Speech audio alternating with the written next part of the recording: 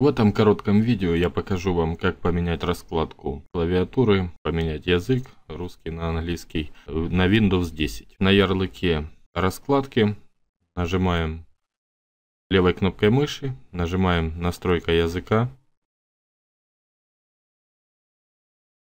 Здесь нажимаем дополнительные настройки. Вот она эта строка. Здесь выбираем вот язык, изменение способа ввода. И здесь уже выбираем дополнительные параметры. Вот она, это ссылка.